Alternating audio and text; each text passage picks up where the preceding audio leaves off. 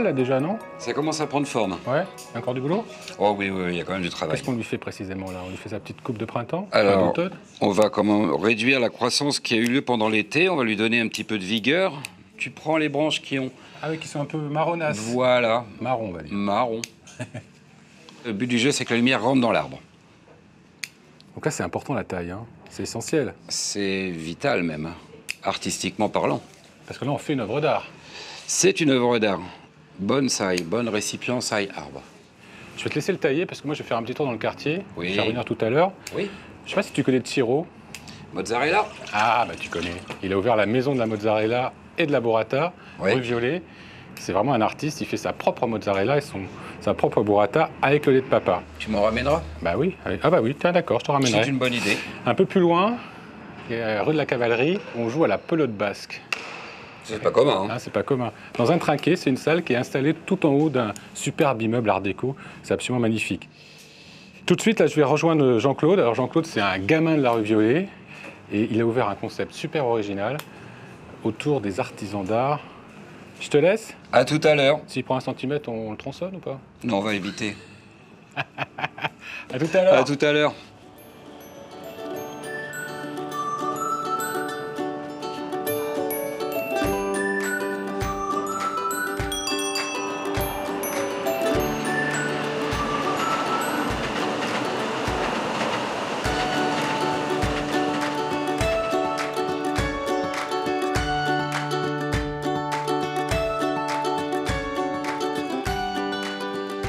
Vous le savez, Paname adore sortir des sentiers battus vous faire découvrir des quartiers qui ne font pas courir les touristes. Notre pari aujourd'hui, vous faire aimer un petit bout du 15e, du côté de la rue Violet. Quel intérêt ce quartier? Pas branché, pas fun, trop familial, trop propre, trop lisse? Bon, allez, j'arrête là des clichés car ici c'est tout le contraire. C'est un quartier authentique. Certes, il a perdu un peu de son côté populaire, mais il a su garder le goût des choses simples. Et puis c'est aussi un endroit où on trouve encore des titis parisiens. Et croyez-moi, ça c'est plutôt rare.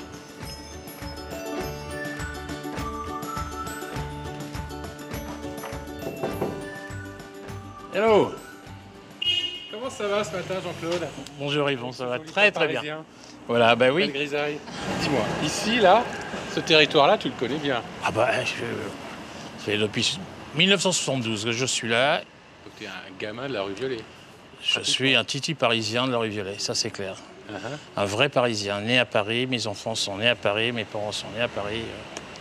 Il n'y en a pas beaucoup des vrais parisiens de cinq générations comme ça. Ça ressemblait à quoi la rue alors C'était Alors, c'était vivant. euh, ici, il y avait une ruelle, tu vois, à la place de cet immeuble. Il y avait une usine, une laverie. euh, il y avait euh, plein de petits commerces, boulangerie, charcuterie, horloger, qui, au fil du temps, ont, ont disparu, malheureusement. Et moi-même, avec mon épouse, on a décidé de, de, de relancer les métiers d'art dans cette rue. Donc, on a monté cette association Un jour en artisan, voilà. Alors c'est quoi le concept? C'est quoi le principe Un jour en artisan? Ici, c'est un showroom permanent où il y a une demi-douzaine de- d'artisans qui viennent se relayer. Le jour où l'artisan est présent, euh, met en avant son métier, bien entendu, mais euh, surtout représente ses petits camarades. Et tout ça, bénévolement, sans prise de commission. euh, Donc ici c'est le showroom, à côté c'est c'est un atelier de restauration de tableaux. Et là, Et en face, c'est de l'encadrement d'art. Voilà. Et tout, tout ce petit monde vit euh, très bien ensemble, s'entend très bien. Ouais. Hein, on dit toujours que les artisans, ouais, ils ont ça le caractère et tout. Non. vrai. Non. Non non, non. Il y en a, il y en a, il y en a. Certainement moi-même le premier, mais non, ça, ça va. Alors Ça devait- Fanny, Fanny, Fanny Martin, ouais, ouais, bah, si tu veux, je t'emmène. Bah oui, on, on va te la présenter. hein. Voilà. Ok. Vas-y.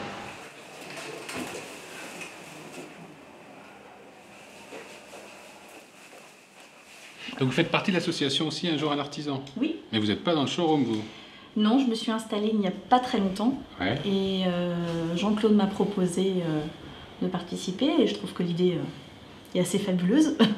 Comment ça l'idée est fabuleuse? Les gens qui sont intéressés au patrimoine, lorsqu'ils ont des tableaux, ils peuvent avoir des céramiques, ils peuvent avoir des horloges. Donc euh, ça m'est arrivé d'aller chez des clients pour la restauration d'un tableau et de dire tiens vous avez une belle horloge et hop, Et finalement par ce filon, ils ont fait restaurer leur horloge. Donc tout ça crée une dynamique. quoi. Bien sûr, bien sûr. Mhm. Donc ce qui serait top, c'est qu'il y ait encore d'autres artisans qui viennent s'installer autour de vous. Bien sûr, bien sûr. S'il y avait une créatrice, par exemple, de robes de mariée, c'est tout Ouais. bête, mais c'est des gens qui travaillent chez soi et qui auraient besoin d'un lieu de rendez-vous pour des essayages, qui ça pourrait très, très bien fonctionner avec la boutique à côté. C'est difficile de créer sa clientèle quand on est dans un fond de cours ou alors un- en banlieue parisienne. Il faut... Là, c'est une vraie vitrine. Qui c'est qui tient la boutique aujourd'hui? Aujourd'hui, ah, c'est la restauratrice de céramique, c'est Julia.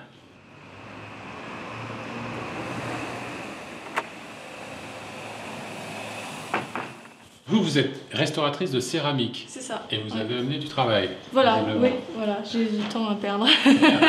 Qu'est-ce que vous faites de beau là? Euh, bah là, euh, j'allais commencer à combler euh, le pied de ce bougeoir en faïence. Et donc, j'ai déjà fait le collage. Ouais. Et là, on va combler les lignes et les éclats pour pouvoir s'attaquer après pour la retouche. Là, on y va un peu à la truelle là. hein. Là, c'est la première couche, donc c'est vraiment on remplit. Et la deuxième couche sera un peu plus moins, moins résultat pas très joli quoi. Je vais pas dire dégueulasse, mais voilà. Et nous, après, avec la deuxième couche, on va pouvoir euh, rattraper, euh, Fignolé. voilà, fignoler. Et comment vous êtes venu à faire ce métier vous? J'avais 10 ans, euh, le film Titanic était sorti, donc j'ai découvert euh, l'histoire de ce paquebot. Et, euh, et ça me rendait malade de savoir qu'il allait être détruit, enfin qu'on n'allait plus avoir de traces de ce bateau. Et euh, j'étais partie dans l'idée euh, de constituer une équipe et de le faire sortir de l'eau et, de le- et de le restaurer. Et c'est parti de là en fait. Ce qui vous plaît, vous, c'est de sauver un objet. C'est oui, c'est de redonner vie à l'objet, parce qu'à partir du moment où il est cassé, euh, ben, on l'accroche plus en décoration, on le met plus sur un meuble. Il y a beaucoup de personnes qui jettent, alors qu'en fait, on peut redonner vie aux, aux objets. Ça veut dire qu'on peut tout réparer? Si je casse l'assiette là, blanc. Oui, oui, oui. oui, oui, bah celle-ci, elle a été cassée. Elle a été cassée Euh, là, j'ai fait le collage. Ah Voilà. oui, il y a un petit fil là. Voilà, donc là j'ai fait le collage. Et euh, ensuite, comme là la personne elle veut une restauration où on ne voit plus du tout que ça a été cassé, c'est une restauration dite illusionniste, euh, ben, on va faire le même travail que sur le bougeoir, c'est-à-dire qu'on va combler la ligne Ouais. de telle sorte à ce que voilà, on sente plus la ligne. Je vous laisse finir. Ça marche, Merci Julia.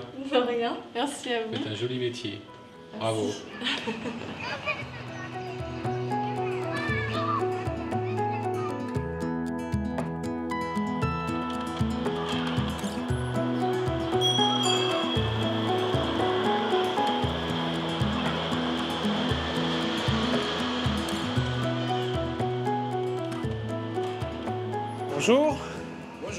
Enfin, je devrais dire plutôt euh, buongiorno ou ciao Bonjour. Parce, Buongiorno. Oui, Parce qu'ici, on est dans un petit coin d'Italie, oui, dans une petite ambassade italienne, rue Violet. rue Violet, c'est bien Ou ça. plutôt, plutôt un coin de Naples, non? Oui, Pompéi, exactement. Pompéi. Pompéi, oui. Parce qu'ici, on vend de la mozzarella On fabrique de la mozzarella. fabrique. Oui, on fabrique. On ne monte pas en forme classique, mais on la fait nous sur place. Ah, ah. Ça vient de Naples, le lait, et Ça vient de l'écaillé, oui, de chez mon père, de Pompéi, ici en France. Tu me montres comment on fait la, la mozzarella et la burrata Et la burrata, les deux. Ça se passe là Oui, ça c'est notre coin labo. Je te suis. Alors, Tout est là. tout est là. On prend donc euh, le lait caillé, ça vient de l'Italie. On ajoute euh, de l'eau chaude.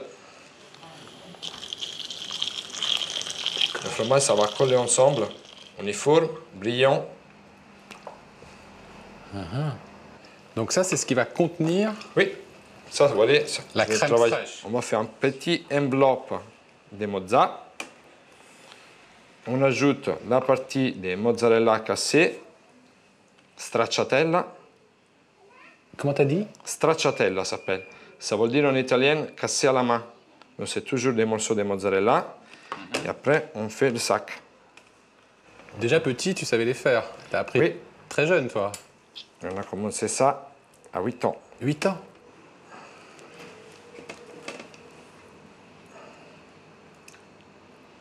Ça, c'est froid. Oui, ça c'est de l'eau froide pour refroidir le fromage. Et alors ça, on peut la conserver combien de temps dans, dans l'eau comme ça Euh, dans l'eau, 3 jours. Nous, on n'ajoute pas d'additifs, c'est que du lait frais. Donc pour avoir plus de goût, pour avoir le vrai produit à l'italienne, à l'ancienne, pas aujourd'hui, on n'a pas la possibilité de la garder 15, 20 jours. Tout ça, c'est du lait de bufflone Oui, c'est tout du lait de bouffala. qui vient de la ferme de papa. La fin, c'est en, en famille. Et vous avez combien de bufflones en tout? C'est 600, 700. Waouh La mozza d'été, c'est différent de la mozza d'hiver. Ah oui, c'est quoi la différence C'est la différence que les boufflons d'été ils mangent une nourriture un peu plus léger. Donc, il fait un, un mozzarella où la consistance du produit final est moins ferme. Il y a, il y a un peu plus de lait à l'intérieur, un peu plus onctueuse, comment dire. En hiver, c'est un peu plus ferme, mais le goût est euh, supérieur. Et alors pourquoi tu t'es installé ici, rue Violet? Rue Violet, que c'est la rue des artisans.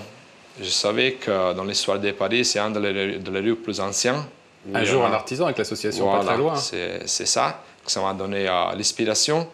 Chez moi, les clients ils rentrent, vous commandez un boule de 200 grammes, 300 grammes, un demi-kilo de mozza. Et moi, sur mesure, je fais le produit. Et les gens, ils regardent le produit fait à la main. Et ça me donne envie d'en goûter, moi. On peut même euh, couper celui-là qu'on a fait Ça y ensemble. est, c'est bon, on peut la manger celle-ci Oui. Ah, top La burrata, Qui est là, qui est dans une celui-là. assiette magnifique. Voilà. Est. Même les assiettes, ça vient de Napoli. Faites à la main, toujours la l'artisanat, la couleur euh, napolitaine, bleu, vert et jaune. Avec les citrons de la côte amalfitaine. Voilà, vous avez tout à fait compris. Celui-là, c'est la boule de mozza. On l'a décoré avec la partie du Vesuvio. Et Eh ça, on a même le côté où ça vient rouler des bouffala. Vous voyez pas, mais en dessous, il y a le Vésuve. Il y en a le Vesuvio, Quand je vais avoir tout mangé, on verra le Vésuve. Je commence par la burrata. comme vous voulez.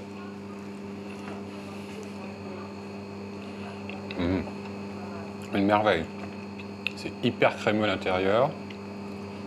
On sent bien. euh, La couche, La que je vous couche. Mhm. dit tout à l'heure, la peau de la mozza et le goût de lait. Oui, c'est encore vraiment le goût de lait. Là, c'est pas, pas encore fort. passé au fromage. Là, je passe à la mozzarella. Voilà, Donc, c'est vraiment fromage. quoi la différence entre la burrata et la mozzarella? Vous avez vu, la, la burrata, c'est la partie, c'est un mozza avec un partie fondante, à- encore crémeux, un partie Mhm. fondante à l'intérieur. D'accord. Là, c'est pas pareil. Regardez même le lait à l'intérieur comme il est. Ah ouais. Il n'est pas ferme. Donc là, on Ça est passé voit. un peu au stade fromage alors. Voilà. Ça se voit les couches. Ouais.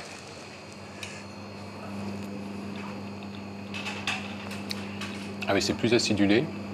C'est un fromage vivant. Différent. Qui va évoluer encore. Voilà. Ouais, qui vieillit. Merci Siro. Bientôt. Ciao. Ciao, ciao, à la ciao.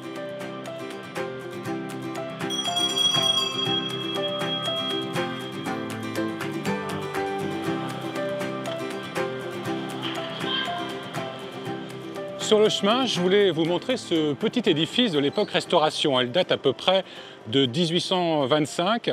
C'est l'ancienne mairie de la commune de Beaugrenelle avant que cette commune ne soit rattachée à Paris. Aujourd'hui, on l'a baptisée la Maison Violette parce qu'elle est installée rue Violet. Elle accueille une AMAP et un petit jardin partagé. Allez, je file, j'ai rendez-vous chez les pompiers.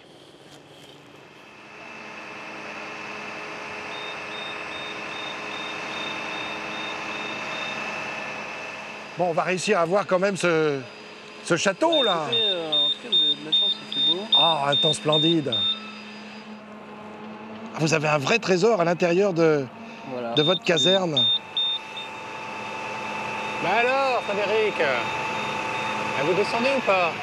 Bon, j'arrive, j'arrive, on descend, j'arrive. Ne bouge pas. Oh là là là là, il est casse-pied aussi. Quelle vue incroyable. Vous avez un casse-croûte? On y va. Ah oui, vous l'emportez pas à bord. Non, pas à bord. On n'a pas le droit. Faut pas faire de miettes. Enfin Qu'est-ce que vous faites Je cherche le château On est monté à 30 mètres. Jusqu'à 30 mètres grâce à monsieur. Et du coup, on a vu le château. Quel que- château Bah, Il y a le château violet. Il faut que je vous raconte. Bah oui, a- racontez-moi, descendez, On a fait des images. vite. Bah oui, on descend. on C'est joli, c'est la première fois que je vois un pompier avec un nœud papillon. Oui, bah, vous avez vu, on est harnaché, Ah tout en sécurité. hein. On va passer par là, c'est plus simple. Oui, pardon. Et on ne grimpe pas dans les fonds pompiers. Ah bah dommage, parce que j'ai bien aimé. moi. Et alors vous m'emmenez pour voir quoi?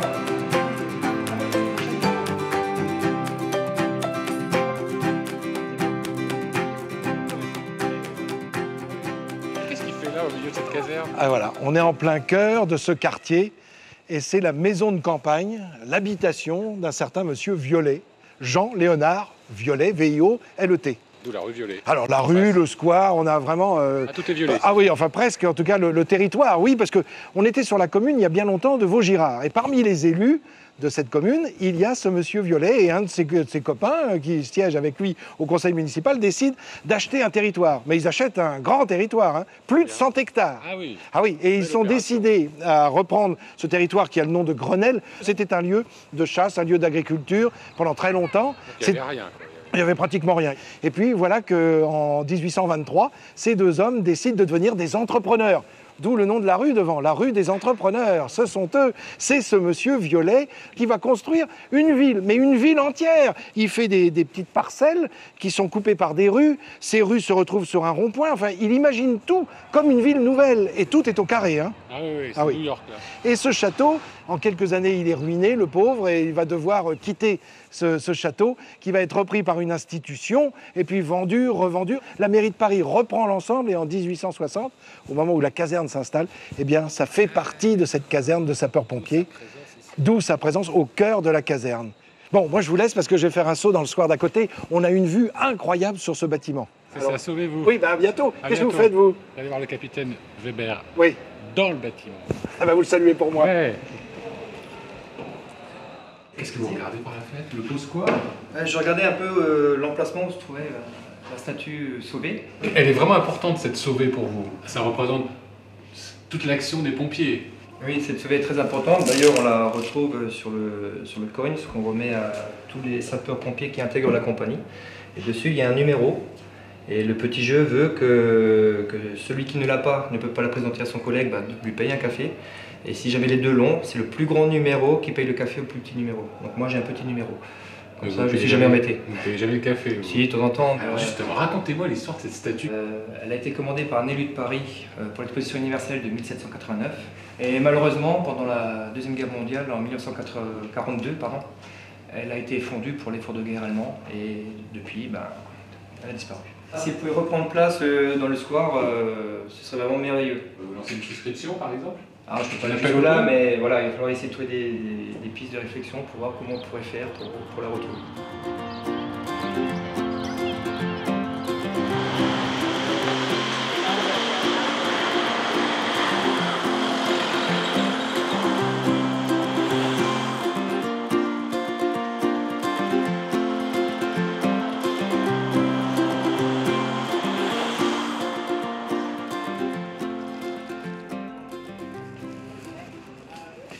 Sais pas Sylvain Alors dis-moi tout. J'ai oublié la Mozart. Ça sera pour demain. Pourquoi toi t'as pas oublié de tailler l'arbre Non, j'ai travaillé sans toi.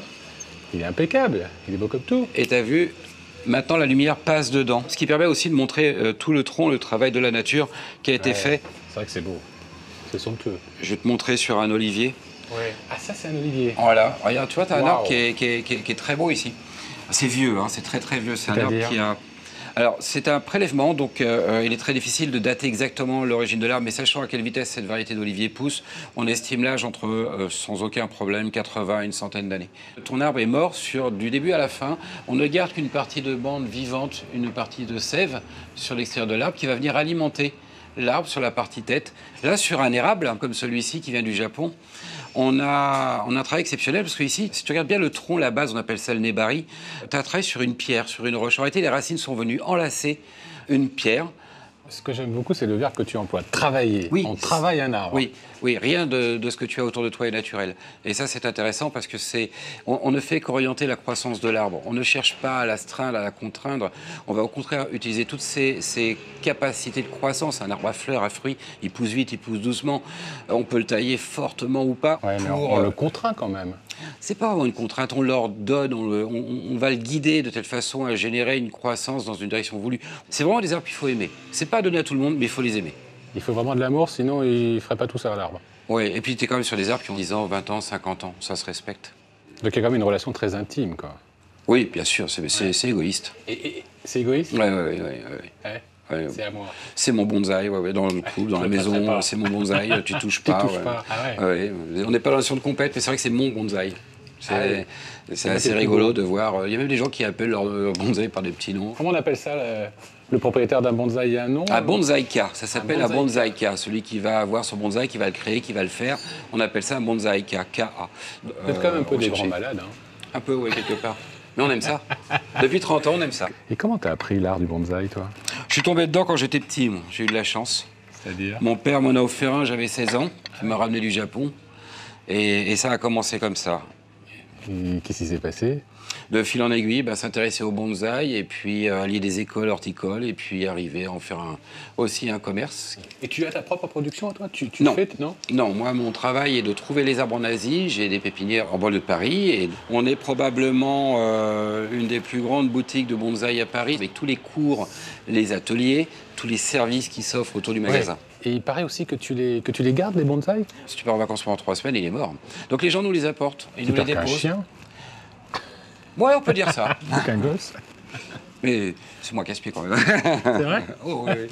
Ça ne demande pas, pas, quand, ça- quand ça a faim. Ça laisse pas de poils. Ouais, mais par contre, il faut quand même s'en occuper. Alors, on n'est pas là tous les jours à le tailler avec un bandeau sur, les, sur, sur la tête. Avec un... Non, non, on est, on est dans l'esprit du travail de l'arbre, de la culture de l'arbre. Au Japon, il y a des maîtres de bonsaï. Oui, absolument. Qu'on peut voir de 150 ans pour devenir maître. Non, mais on peut être élève pendant 70 ans, effectivement. Ouais, quand, tu vas dans les, à, à jamais Omiya, quand tu vas dans les jardins de bonsaï de maîtres en particulier, tu arrives dans le jardin et tu es dans les ateliers. Et quand tu arrives dans les ateliers, les gens sont là, ils ont, ils ont, ils ont aussi vieux que le maître, mais tu, tu travailles depuis quand de- en tant qu'apprenti? C'est un peu ça. Et il dit, mais moi, je suis euh, dans l'atelier depuis 50 ans et je viens là toutes les semaines travailler mes bonsaïs. Mais t'es pas maître? Non, non, il est toujours, alors qu'il a un savoir extraordinaire, mais euh, il reste au service du maître et c'est une des particularités. On n'a pas cette culture, nous, en Europe. hein. C'est plus cool. Oui, oui, surtout. Ouais, euh, on se les- prend moins au sérieux. oui, bon, quel que soit, qu'on soit en Italie, en Espagne, en France, en Allemagne, où le bonsaï est comme très développé maintenant en Europe, hein, euh, on se prend quand même moins au sérieux. Mais on a l'art et le savoir du travail bien fait. Et ça, ça reste immuable, que ce soit au Japon ou ici.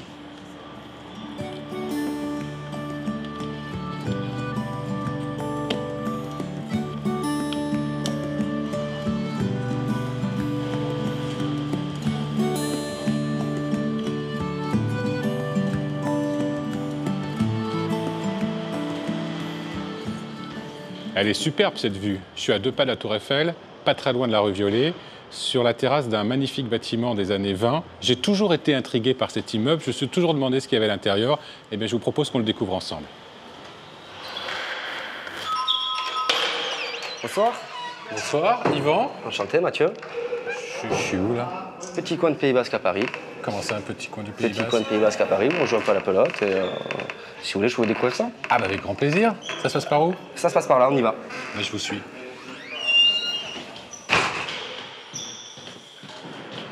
C'est incroyable de trouver cette salle ici, en haut de cet immeuble. Ouais, ouais, c'est bah, c'est unique à Paris. hein, y Ah, C'est quoi précisément? C'est une salle de pelote basque? C'est un trinquet de pelote basque. quoi, Un trinquet? Un trinquet de pelote basque, tout à fait. Donc, qui a été construit par les Argentins au début du siècle. Comment ça fait les Argentins Par les Argentins, parce qu'il y a eu une grosse immigration de Basques au début du siècle, suite à une, euh, suite à une, comment dire, une conjoncture économique difficile au Pays Basque, euh, qui les a amenés là-bas, et du coup ils ont importé le, le sport, et euh, les Argentins l'ont réexporté vers chez nous. Quoi, donc, euh, Donc ici, c'est un Argentin qui a construit cette salle. c'est l'ambassadeur d'Argentine. ouais. Au-dessus d'un garage. Au-dessus d'un garage, comme ils font donc beaucoup chez eux, on est- ils font des garages clubs. On transpire un petit peu, on se pose entre copains, on joue un peu, et puis euh, on mange un petit bout, et puis on repart à la maison.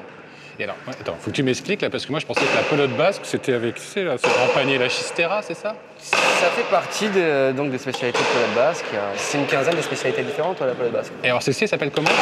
Ça, on l'appelle techniquement la paletta à gomme creuse. La paletta. La paletta à gomme creuse, ouais. Oui. Ou euh, vulgairement la baline. Et là, il y a- il y, a des compètes ici ou pas? On a accueilli pendant, euh, je dirais, trois années d'affilée la finale du championnat de France de notre spécialité. Ici, dans cette salle? Ici, dans cette salle, ouais, tout à fait. Elle est gradée en plein. euh, Et on fait venir aussi une fois par an les Argentins champions du monde parce qu'ils adorent venir jouer dans ce trinquet. euh. Toi, t'es basque. Moi, je suis de fait. Alors, t'es basque. Ouais, je suis basque, tout à fait. Et t'es là depuis combien de temps? Ça va faire, ça va faire 10 ans. Ça va faire 10 ans que je suis venu ici, euh, donc pour m'occuper du trinquet, apprendre un peu aux gens à jouer, et, euh, puis faire vivre le mieux, quoi. Ça a l'air assez compliqué quand même. Non, ça va, ça va, ça va aller, vous allez Ouais. voir. Vous allez bien vous en sortir, vous inquiétez Ouais, pas. on s'amuse ouais, vite. Ouais, vous allez, carrément. C'est comme au tennis un peu, ou au ping-pong. C'est plus facile que le tennis. C'est beaucoup plus facile que le tennis. Ah bah, je suis impatient de voir ça.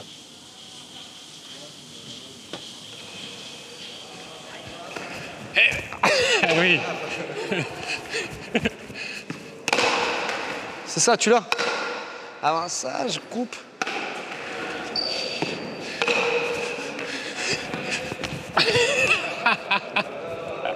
Bon Mathieu, j'ai un peu commencé comme ça dans la foulée, un peu n'importe comment. Apprends-moi l'engagement déjà. Alors, l'engagement. On se met Donc, là on part de gauche. Ouais.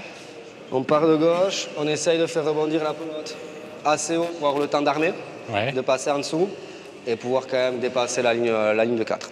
d'accord. T'as réussi. C'était pas mal en plus. C'était un, pas- un engagement pas mal du tout. Il est content de lui. hein. Je vais essayer. L'idée, c'est vraiment de, laisser, le- de jeter la pelote, d'avoir le temps d'armer, de passer en dessous. C'est vraiment le lancer de pelote qui fait que vous allez pouvoir... euh, Eh, eh, Faut eh, pas la lancer elle est un loin. peu vicieuse, non? Non, non, non. non, non, non. Cherchez pas d'excuses. Voilà.